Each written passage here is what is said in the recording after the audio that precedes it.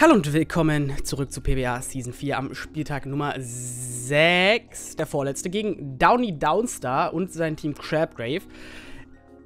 Manchen Leuten ist vielleicht aufgefallen, dass die letzte Zeit auf meinem YouTube-Kanal gar nichts kam. Das lag erst darin, dass ich Urlaub hatte und einfach keine Lust hatte. Und dann kam äh, dazu, dass ich äh, mir Corona eingefangen habe.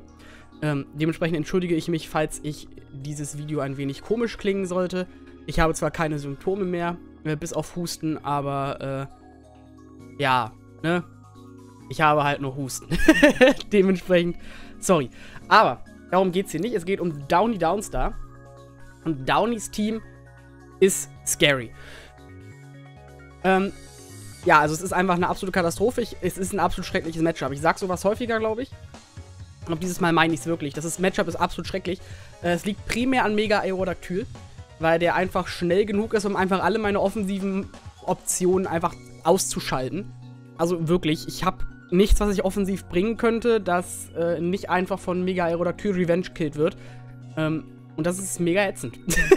das ist einfach mega ätzend.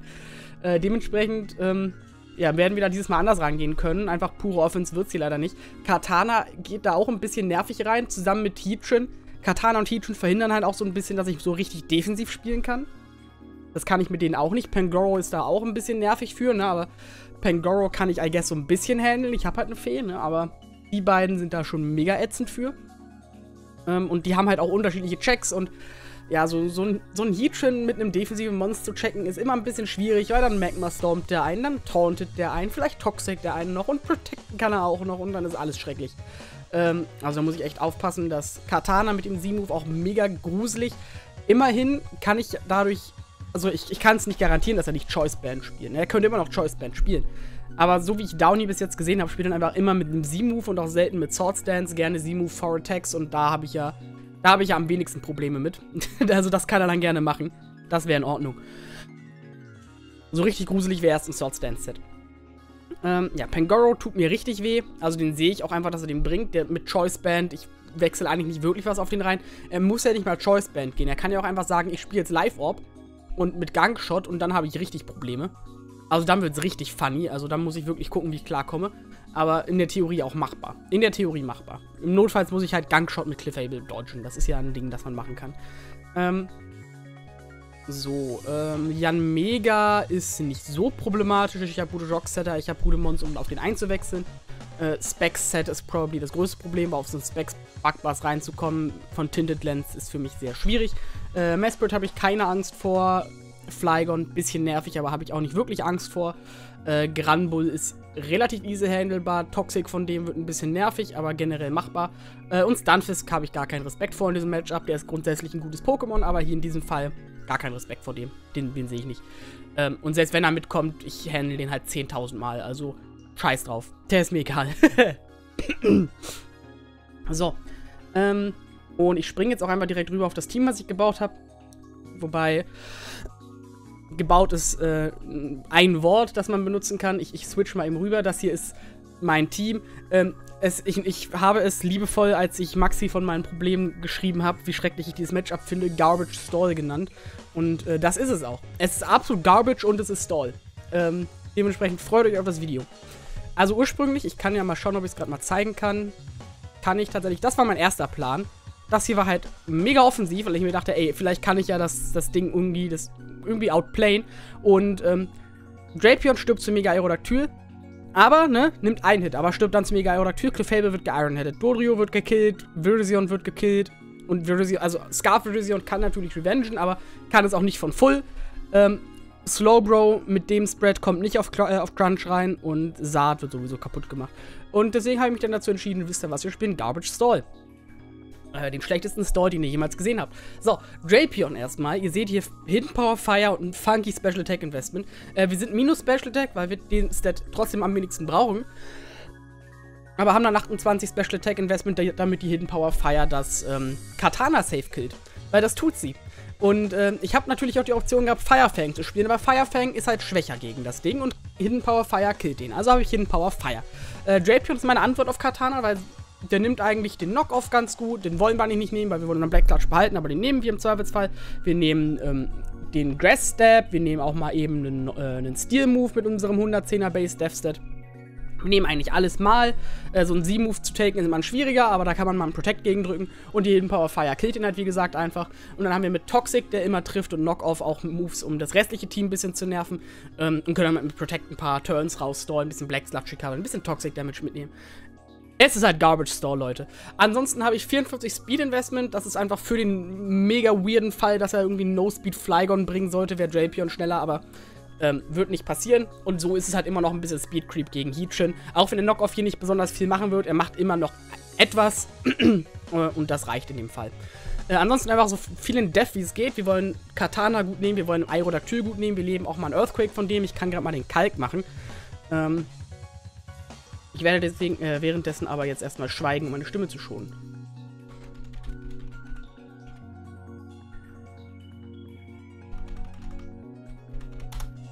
So, der wird Adamant sein. Der hat gar keinen Grund, hier Jolly zu sein. Und Adamant Earthquake macht 60% gegen Drapion.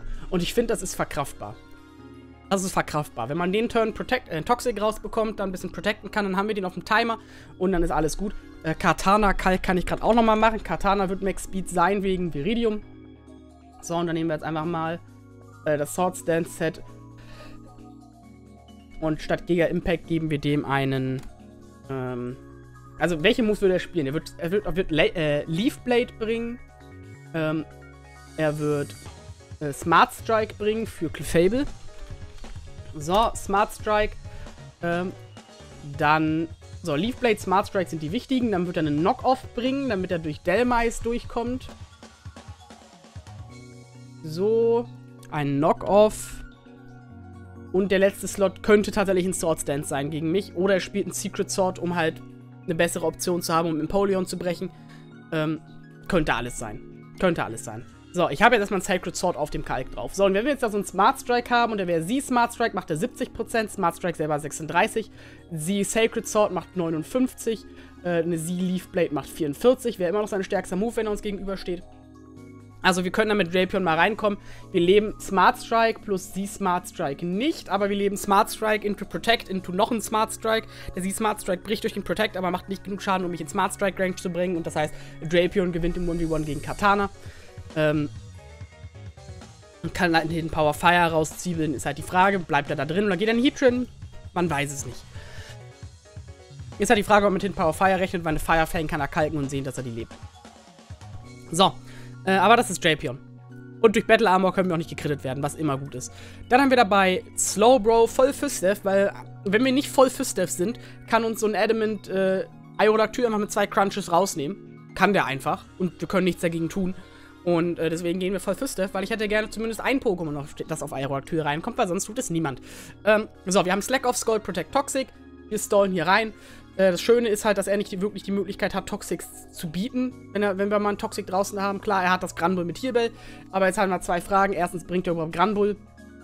Könnte er machen gegen meinen, ähm, gegen meinen Saat. Könnte er, aber ich glaube, dann bringt man noch lieber so einen Fistef Porygon 2 mit Schmarotzer. Ähm, also, und ansonsten ist Granbull halt gar nicht mal so ja, der ist auch nicht bad. Er könnte Granbull bringen. Er könnte, er könnte. Was ich jetzt am ehesten sehe, sind halt Katana, Heatran, Aerodactyl, äh, Pangoro P2 und da hat er einen Slot frei. Und dann ist halt die Frage, wer das ist, ne? Aber hey, hey, hey, hey. So, wir haben auf jeden Fall voll Fist of Slowbro, weil wir wollen gerne auf den reinkommen. Wir wollen gerne Skull gegen ihn drücken können. Ähm, und ansonsten wollen wir gerne einfach alles vergiften und dann protecten und äh, hoffentlich. Protect hilft uns halt auch, wenn das ein Bandit Pangoro sein sollte. Weil dann können wir auf den Protecten gucken, ob der für einen Knockoff geht und dann können wir in Clefable gehen. Ähm, also, wir bleiben hier beim Bro. Wir bleiben hier bei dem. Und wir haben das Toxic und wir haben Protect. Und ohne Protect ist halt nicht mal garantiert, dass wir zwei Crunches von dem, von dem Aerodactyl leben. Es ist sehr traurig. Er ist recht mit Tarnstein, dann wird es richtig kritisch. So, aber weiter geht's dann nochmal mit einem Fist of Clefable. Wir gehen hier so. Wir, alles ist das Fistef bis jetzt. Wir haben drei Fistef-Pokémon, weil seine Stats halt alle physisch sind, außer äh, Jan Mega. Ähm, und Heatran, I guess. Und Heatran. Aber Heatran verlasse ich mich auf mein Typing. So, Clefable ist hier dabei mit Trick Sticky Barb, weil ich denke mal, Heatran ist sein Switchen auf Clefable und mit ich denke mal, sage ich, äh, das ist garantiert sein Switchen auf Clefable. Und dann kann ich dem erstmal einen Sticky Barb in die Hand drücken, dann haben wir Leftovers negiert und dann recovert er nicht mehr und dann ist alles super. Hoffentlich ist er nicht Specs, weil Specs Clefable will ich nicht unbedingt haben, aber auch das Specs kann ich dann eventuell nochmal an wen anders weiter tricken. Müssen wir dann mal gucken. Ähm, Ansonsten haben wir die Stealth Rocks, weil die werden wir brauchen, um Aerodactyl zu chippen. Wir haben den Moonblast, den werden wir brauchen, um Pangoro zu killen. Und Softbolt, weil wir das brauchen, um zu leben. So, äh, und das ist Clefable auch einfach schon. Clefable liebt, äh, liebt es, wenn das gegnerische Team schon gepoisoned ist, weil dann geht Clefable richtig äh, spaßig rein. Und so ein Sticky Barb auf einem Heatran ist halt basically, basically ein Poison. Macht ein Achtel pro Turn Schaden, ne? Also 8 Turns und Heatran ist dead. Und 8 Turns kriegen wir schon irgendwie hin. Äh, vor allem, weil wir zwischendurch mal ein Skold reinziehen können, zum Beispiel, ne? Von anderen Pokémon. Weil wir wollen ja mit Clefable nicht auf Heatran drin bleiben und dann tricken, wir wollen ja den auf den Switch tricken. Weiter geht's dann. Voll für Steph übrigens, äh, wegen Iodactyl und Pangoro. Und, ne, das ist es halt. Dann haben wir Spidef Komala mit äh, Bulk Up, Wish Protect und Return. Bulk Up, Wish Protect sorgt dafür, dass wir gegen Porygon 2 im 1v1 gewinnen können. Wir können auf dem Setupen und wenn er uns das zu lange machen lässt, dann können wir auch im Zweifelsfall Aerodactyl oder Katana Okay, Katana eher nicht, vor allem wenn der Secret Sword hat. Aber wir könnten im Zweifelsfall Aerodactyl 1v1, wenn wir genug Bulk-Ups kriegen. Nach zwei Bulk-Ups kann er uns nicht mehr mit Stone Edges two-hitten. Ähm, yay. also können wir da vielleicht, ne? Wir können auch AP stallen mit unserem Protect. Wir haben genug Protect auf diesem Turn, auf diesem, auf diesem Team. Leute, das wird kein schönes Match für Downey. Es tut mir jetzt schon ein bisschen leid. Aber ich habe keinen anderen Play. Ich habe, ich habe mir, ich habe versucht, was Offensives zu bauen und habe es für nicht gut befunden. Und ich empfinde auch das jetzt für nicht gut, aber als für weniger nicht gut. Ähm, so, und mit Bedef Komala können wir halt, äh, ja, Jan Mega im Zweifelsfall ein bisschen taken. Das wäre wichtig. Wir können halt Rotom checken. Wir können äh, Porygon 2 sehr gut checken, weil der kann uns halt nicht poison, der kann uns nicht Thunderwaven. Äh, Schmarotzer macht nicht wenig, aber auch nicht so super viel, weil wir haben im Bulk-Up sowohl unsere Def als auch unseren Attack äh, boosten. Und spezielle Moves taken wir auch ganz gut. Wir können durch das unser speziell defensive Investment auch Heatran im Notfall 1v1 wenn wir müssen, wenn wir genug Bulk-Ups rausbekommen. Erst recht, wenn wir einen Sticky Barb auf dem drauf haben. Ähm, und das ist halt Komala. Der ist primär hier, weil er speziell defensiv ist und nicht gesetzt werden kann, weil ich ihn halt auf Toxics von Porygon reinwerfen kann, ohne dass ich Angst haben muss, dass sowas wie mein Dan gepoisoned wird. Ähm, aber vor Poison muss ich mit dem Team ehrlich gesagt nicht so mega viel Angst haben. Eigentlich nur mit äh, Slowbro. Eigentlich wirklich nur mit Slowbro. Und das ist Komala. Wish Person hilft übrigens auch, um äh, unser äh, ja, unser Drapion sowie unser nächstes Pokémon am Leben zu erhalten. Und das ist Empoleon mit der Sugarberry. Keine Leftovers. Es ist sehr schade. Äh, sonst hätte ich auch gerne Protect auf dem gespielt. Aber äh, das ist unser Defogger. Äh, wir wollen gerne einen Defogger haben, weil wir eigentlich gar keinen Bock auf Tarnstein auf unserer Seite haben. Ähm, das soll ein langes Game werden und ich habe gar keinen Bock, dass er dann Pressure aufbaut, indem er Tarnsteine legt. Wir haben das mächtige Siedewasser. Wir haben 20 Speed Investment, einfach so ein bisschen als Speed Creep, als Counter Speed Creep, Speed Creep, damit er mich nicht Speed Creept mit seinem Speed Creep. Ähm, weil wir wollen gerne, dass Granbull, falls es mitkommen sollte, zuerst mit der Flash Cannon hitten. Ähm, wir haben die Sugarberry für Earthquake von dem Aerodactyl, sowie von anderen Pokémon, die potenziell Earthquake haben könnten, was jetzt eigentlich eher Aerodactyl ist, aber potenziell Flygon. Ich glaube, Granbull kann auch Earthquake, auch wenn der, glaube ich, lieber Close Combat bringt, aber ihr wisst, was ich meine. Ähm, und dann können wir halt mal mit Scald Flash Cannon da ein bisschen ja, ein bisschen die, die Mons finishen, wenn wir es müssen. Ansonsten haben wir den Defog und wir haben Jor. Jor hilft uns, wenn wir Rocks draußen haben. Ansonsten eher weniger, aber äh, wir haben ja noch keine Leftovers. aber es verhindert halt auch, dass irgendwas davon setupen kann, was nicht unmöglich ist, auch wenn unwahrscheinlich bei dem Team. Ähm, ich will halt auch nicht, dass irgendwas auf mir subbt und ja, ich, ich, ich, wüsste auch nicht, was ich sonst über Jor spielen sollte. Ich könnte halt Defog und Stealth Rock auf Empoleon bringen und dann hätte ich auf Clefable einen Slot mehr frei. Ähm, würde mir nicht besonders gefallen. Aber I guess gegen das Team? Hm. Dann hätte ich auf Clefable einen Slot für Carmine. Und das wäre ja schon mega strong.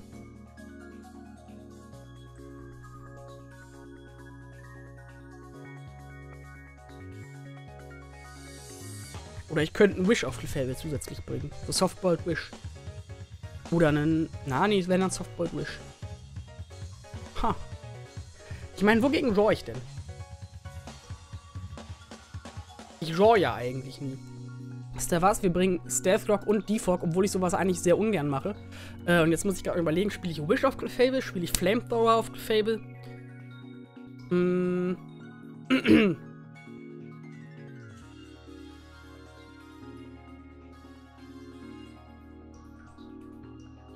könnte auch einen Sub auf Gefable bringen, aber nee, der ist es nicht, der ist es nicht. Ich könnte Counter bringen. Nee, eigentlich ist er das auch nicht. So, also ich habe jetzt hier mehrere Optionen. Ich habe Flamethrower, um Katana zu killen. Ich habe die Option für einen für einen Calm Mind, ne, um eine Wincon zu sein. Das wäre halt. Calm Mind wäre eigentlich schon geil, ne? Ja, komm, wir gehen Calm Mind. Komm, sind wir eine Wincon mit Clefable. Okay. Okay, gut, dass wir das gerade noch geändert haben. Ich glaube, das macht es tatsächlich besser, weil Jorn will ich eigentlich gegen. Der Setup nichts gegen mich. Also, der hat keine Setup-Pokémon. Der hat Flygon. Flygon bringt er nicht mit. Wenn er Flygon mitbringt, dann Setup der auch nicht gegen mich, weil ich habe einen Clefable. Nee, ah, der, der Setup nicht. Das ist mir egal. Ich bringe ich bring keinen Draw. Ich bringe einfach. Stealth Rocks und Defog auf Empoleon. Der schafft das. In diesem, in diesem Game spezifisch schafft er das, weil der ist nicht, der ist nicht mega wichtig. Der lebt halt einen Hit von äh, Aerodactyl. Das ist das, das ist das Coole. Ähm. Ne, wir bringen einfach Stealth Rock und Defog auf Empoleon. Wir bringen einfach beides. Okay, äh, das ist Empoleon. Und das letzte Pokémon ist meine Offensive. Meine gesamte Offensive, hier ist sie. Ich nenne es Pokémon äh, Mega Saat X Edition. Äh, Dragon Dance, 3 Attacks, Max Speed wegen Flygon, der auch Base 100 Speed ist und äh, ansonsten einfach reinwumsen. Äh, mein Gameplan ist halt mit den anderen 5 Pokémon Doll zu spielen und dann ganz am Ende mit Saat X reinzukommen und zu sagen, okay Leute, ich hole mir jetzt einen Dragon Dance und dann ist vorbei, ne? Ähm, das ist der Way to go, das ist mein Plan. Ich hoffe, ich muss Saat X vorher nicht benutzen. Ähm, und das ist es eigentlich schon. Das ist Saat X. Earthquake, Dragonclaw, Flare Blitz trifft alles.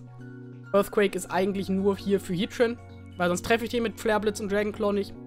Und ähm, ja, das ist es schon. Das ist es schon. Das ist mein ganzes Team.